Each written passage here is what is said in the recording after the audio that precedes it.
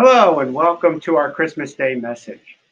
For those of you who don't know me, I'm Pastor Jim Fu, and I serve at Christ United Methodist Church of Elmhurst and Calvary United Methodist Church of Villa Park. I pray that you are having a wonderful holiday season, and I am especially glad you are spending a little time with me. To start us off, I'd like to ask you all a question. The question is Do you agree or disagree with the following statement?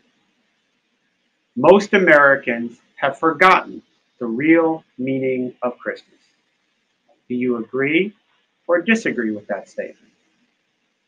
Ipsos, a survey firm, asked this question of 1,023 people this December 2022.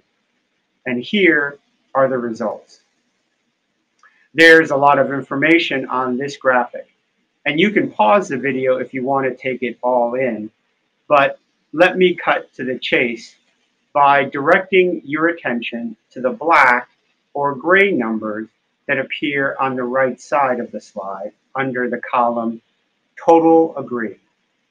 You'll see that 75% of all Americans believe that most Americans have forgotten the real meaning of Christmas.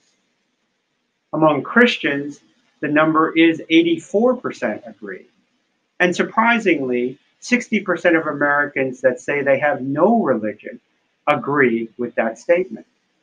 What a terrible outcome.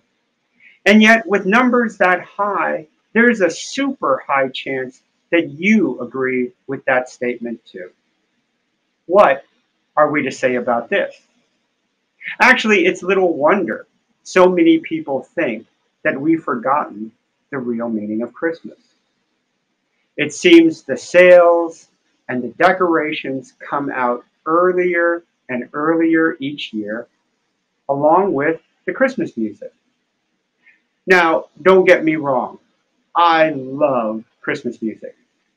But as we spread it over a longer and longer period of time, it all starts to seem more and more ordinary every day, maybe even commonplace. It loses its specialness. And at the same time, we seem to be under more and more pressure to make Christmas happen and happen well. We want to have happy and fun family gatherings. We want to experience the joy that the Christmas movies show are part of the season. We want the gifts we give to be just the right thing to those who we give them. And yet, this survey shows that we've forgotten the true meaning of Christmas. I'd like to share a funny yet kind of serious video with you. Just to set the stage, most of you are familiar with what a search engine is, something like a Google or a Bing, or maybe even some of you know DuckDuckGo. But for those who do not, think of a search engine as something that you can ask a question of that will search the internet and provide lists of answers. This video imagines a Christmas search engine as a helpful but overworked person during the holiday season, trying to answer everyone's question about how to have a great Christmas or how to deal with its challenges. Let's have a look.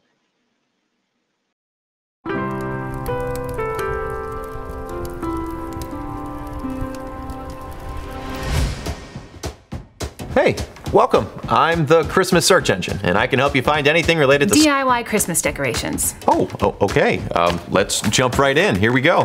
what date Christmas this year? Uh, December 25th. What date Christmas next year? December 25th. Song that goes. um, I think I know what you're looking for. How cook ham? Okay. How cook ham fast? Uh. Oh, ham flamethrower recipe. Wait, what? Christmas present mom. Nice. Cheap. Nice. What date Christmas 2035? Are you serious? Is Santa Claus real? Uh, you should maybe ask your parents about that. Gift wrap bowling ball. Please be careful. Custom dog Christmas. Sorry, what? Christmas dog custom cute. Oh, you mean costume? Christmas dog costume cute. Gift wrap accordion. Uh, that's gonna be tricky. Can I drink expired eggnog?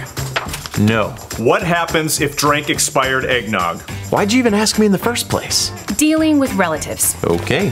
Dealing with nosy relatives. Uh, well. Dealing with my nosy, overbearing relatives who won't stay out of my business.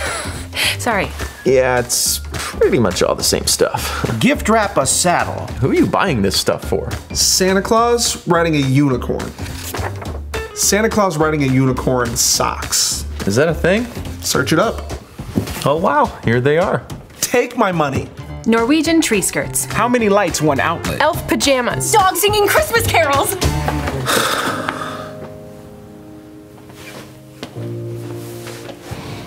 Oh. Hello. What is Christmas really about? Hmm. I've got just the thing.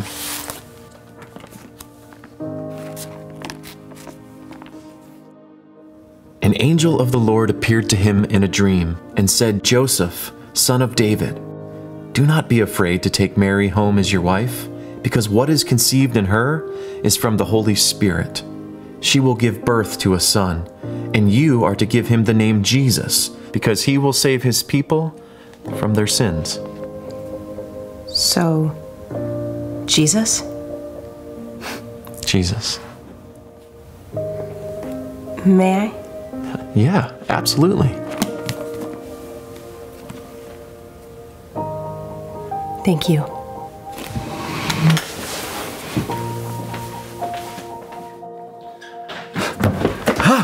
How fix burnt ham? Okay, You know what? Forget it. Pizza delivery Christmas Eve. no problem. That's it. That's the real meaning of Christmas. The gift of Jesus Christ, God's Son, given to us this day so that our sins, our self imposed separation from God, could be and would be forgiven. We all know it. I'm not saying you don't already know. We've all seen the Jesus is the reason for the season bumper stickers go by.